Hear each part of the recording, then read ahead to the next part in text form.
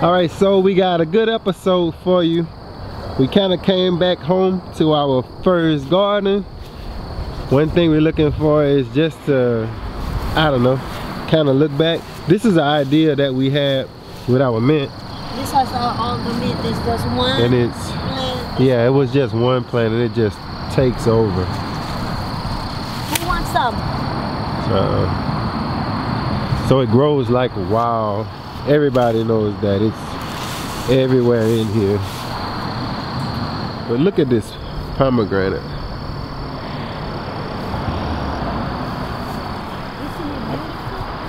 Yes.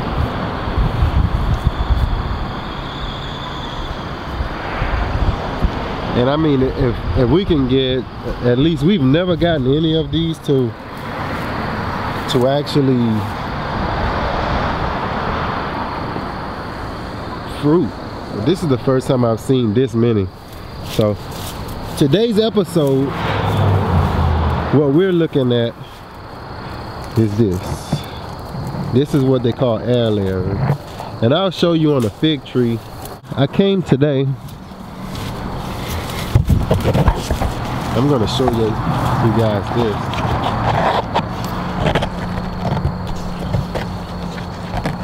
I did a little bit, took a little bit off of there.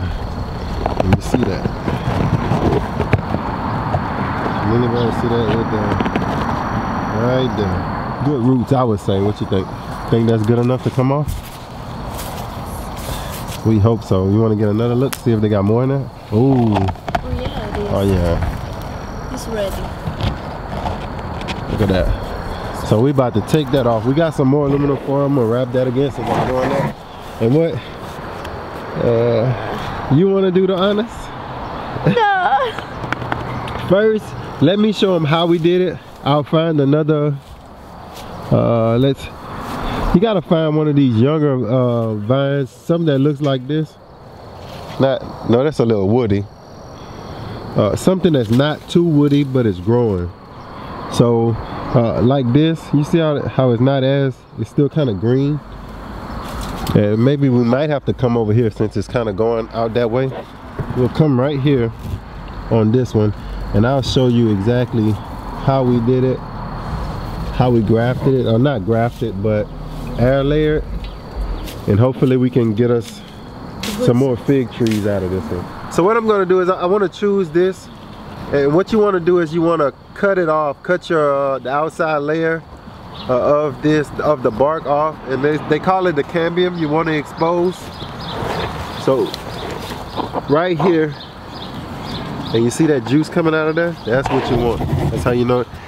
I, I did this at the beginning of spring. And they say it's best to do it in the springtime or in the growing season.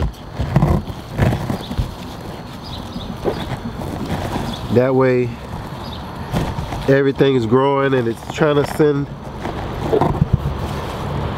that nutrients up to these tips. All right, so you go there and right under there.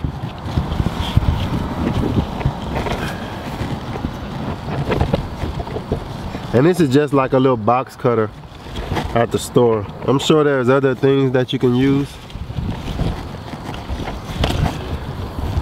All right, so you want to just cut just that outside layer off. And then, uh, if you can see that, I'm gonna put, bring it down. Then you just get your one little swipe down. That'll be it. And pretty much you peel that off, like so. This is real easy. I think if anyone want to start uh, doing the air layering, start with a fig. I think it's more, e I think it's easier, more hardy. All right, so you got that exposed. And all I did was, I kind of came and I watered. For the first week, I stopped by over here like every other day and I watered.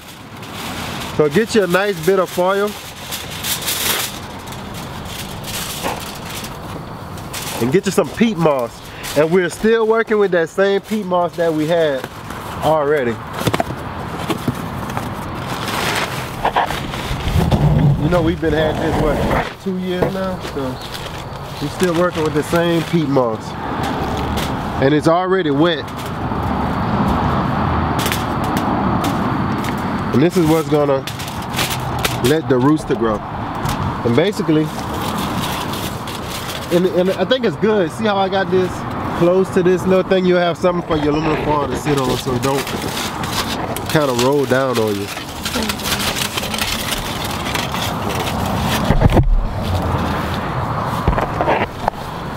So, so this is gonna be the tree here. All right, it's already growing figs. So this is how you see those trees that be at the nurseries, those small trees that already have figs on them. Now, for this one, I didn't put anything on it. No rooting hormone or anything. Just some good wet peat moss. And, and you wanna start wrapping it around there. At the bottom is the most important thing to start with because that's what's gonna sit and hold. And then you just go ahead on and keep wrapping. And that's good and wet already. And that peat moss is gonna stay moist. That's the good thing about using it. So I'm gonna get one more. A lot of people use like plastic and things like that. I think if you try, maybe in the summertime, you may need to use the plastic, but we started early spring.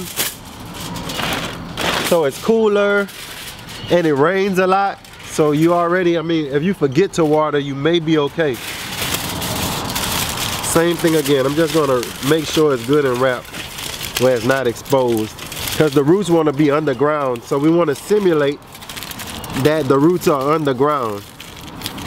And you saw the little green part that I had exposed. The roots are gonna shoot out from there. All right. So today what we came to do is we're gonna cut this off. Expose the roots on this one. I'm gonna go ahead and give it one more wrap before we cut it. And I just wanted y'all to see it. Now this isn't saying that this is gonna make it, I wouldn't think, but I would think it's darn sure close being that it's done everything that I think that, that it's supposed to do. And you could also see new shoots coming out. So that's a good thing. But this tree is still on the main plant. So that might be where some of the energy is coming from. Uh, it's a nice sized fig tree. But hopefully we're gonna get this cut today and we'll go home and we'll get it put up in a pot. Uh, put a little fish emulsion and things like that in it. And hopefully it stays with us. So this may be the beginning of something beautiful. Here we go. Uh, get out my way, little leaf. Can you see me?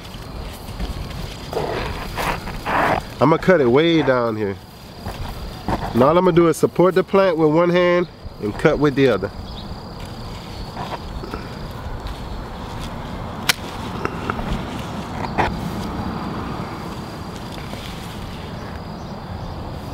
And look at that.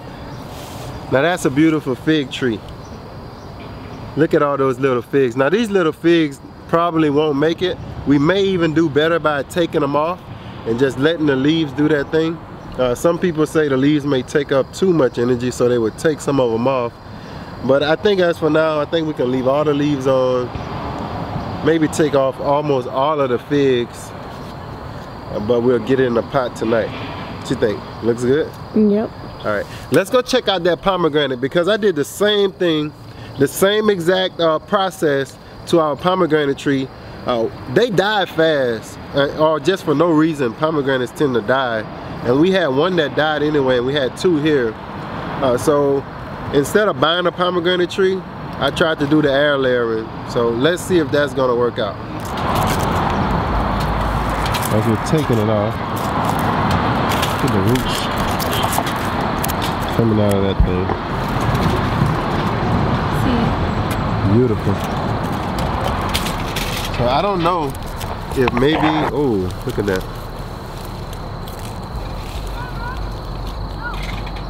I think that's ready to come off.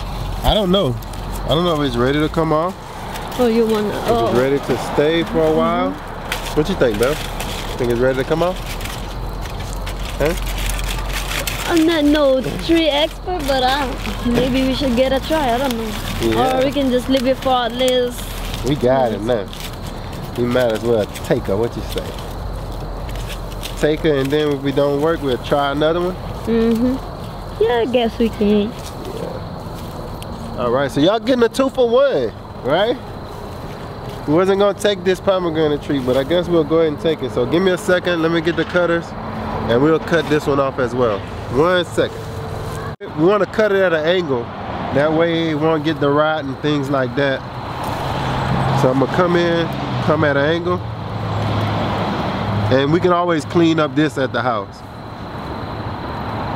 Just a good chop down.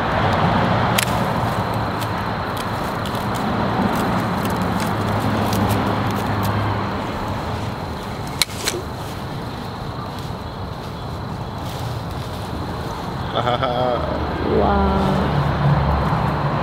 Now that may have been uh, too big of a piece to do, but we don't know. And we'll, what we'll do is we'll go in and get this put in some soil. And hopefully, we got a, we on this, we right by a main road.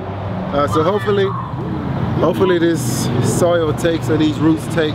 We'll clean all this up, take this up, and cut it all the way to here. It may be too late for us to show you when we get home because we're not gonna waste time uh, planning this or we might be able to get some light outside or something to show you. But that's what we're gonna do. We actually thought that the audio was on so this was my fault. Uh, so I thought I was talking but I'll just talk with y'all kind of like what what I was talking about. Uh, at this point we had left the house and on the way home we stopped by Walmart and I ended up getting this uh, Miracle-Gro moisture control potting mix. And, and the reason I got this was because it says protect against over and underwatering. I know that's a main concern when you're when you're air layering, is that if you overwater it, you could kill it, and if you underwater it, you could kill it. So that was one of the reasons why I went with that potting mix. And it was late at night, kind of getting dark, so I couldn't really stand out there and read through all the bags. So I grabbed that one. I've actually put the soil in, in three other in two other pots. So I'm just showing y'all the last pot uh, that I'm doing. Actually, just what we're doing is we're just going to pot it up.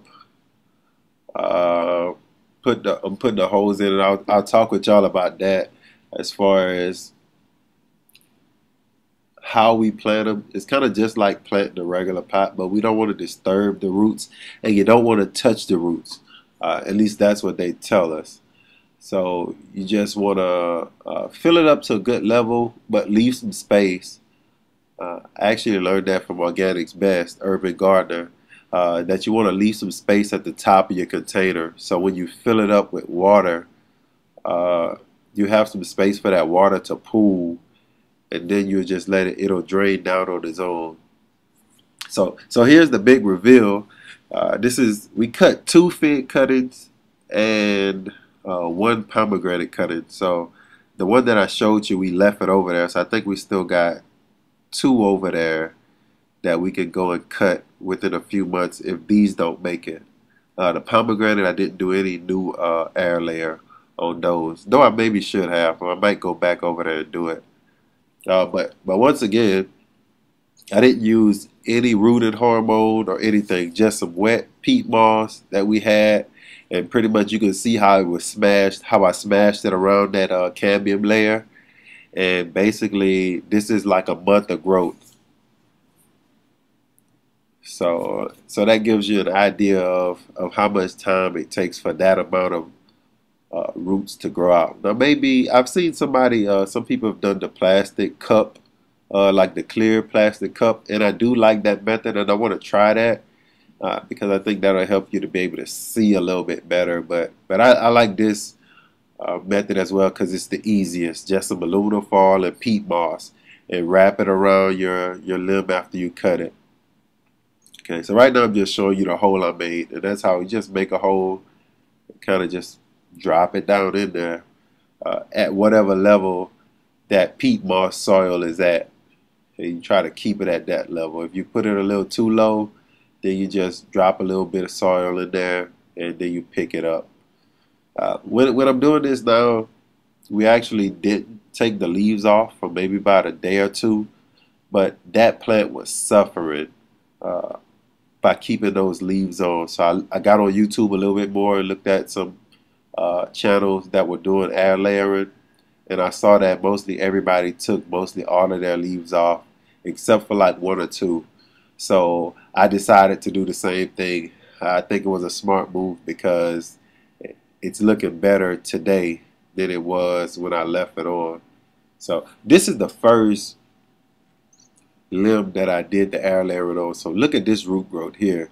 So and I'm thinking if I would have left that maybe another week, it, it, it could only get better, right? So I think this is a beautiful thing to let y'all see that, to see how, you know, in the light, in the good camera lighting, uh, Beverly's holding for me. It's slipping away. Look how focused I am. so, uh, oh, I'm hoping to, to be able to start doing things like this. This is what I really want to get into. Like, uh, from losing, we lost like about, I think about 10 or 12 or 13, something like that. Crazy. Uh, number of citrus trees. I don't even like to think about it. Uh, so, I want to get into the grafting aspect and the air layering aspect of of growing fruit trees because they're so costly to buy, especially to lose. Where if I can find some friends that have trees, if I can perfect the grafting and the air layering, I'm sure that I could get someone to let me use their trees in order to grow my own trees. So we had a little voice issue with those. I didn't have the microphone on, so that's my bad. But I'll do a voiceover for you guys. Uh, kind of what I was talking about, uh, kind of what I was showing you guys. So that way you can be kind of up to speed. Uh, but now that I'm back in action, let's do this one the right way. We got that pomegranate coming up last.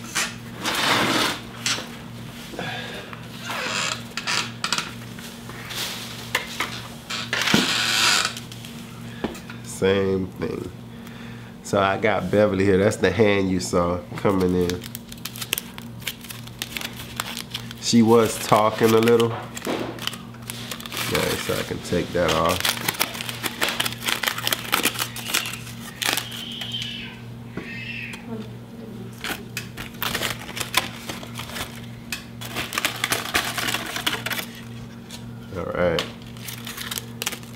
Let's let the pomegranate do all the talking. Let me see. Now this one did have a lot of ants if you remember when we uh, were taking it out. So we're probably still going to have that ant issue inside here.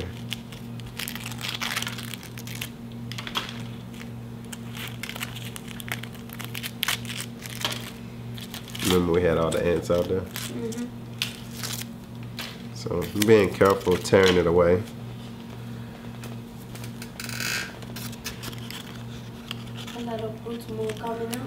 Yeah.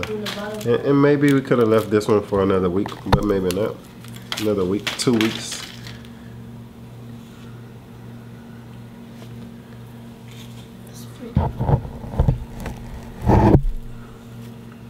It's still good.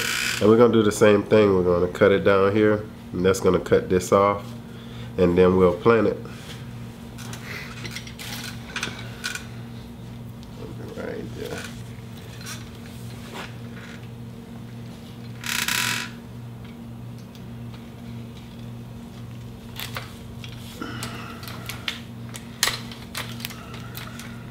Can you hold up real quick? Oh, there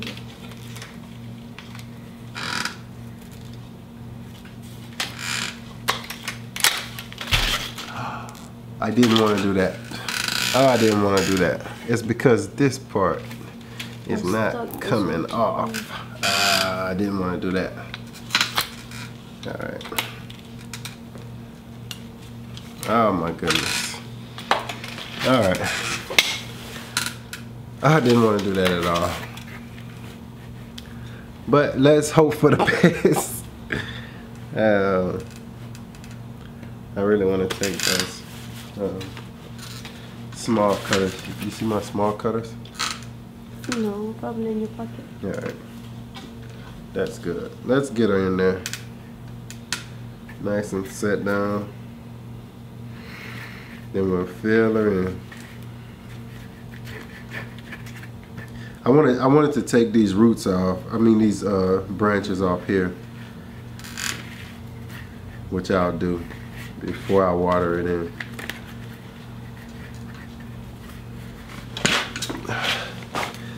So, and it's a taller plant, so I think I'm gonna have to get something to stake this one at least to hold it in place uh, to keep it from doing what it wants to do. It wants to fall back because it's so top heavy. Uh, the rest of them are still good. Uh, so hopefully we'll be able to bring you an update. So now, once that you've actually potted them, the last step would be to go ahead and defoliate the leaves because the roots are not strong enough now to handle all of those leaves that were on there. Uh, we didn't do that at first and they were really suffering. But now that we've actually taken most of the leaves off of both the fig and the pomegranate, and we've taken taken all of the fruit off. If you have any fruit on, take all of the fruit off as well. See ya. God bless.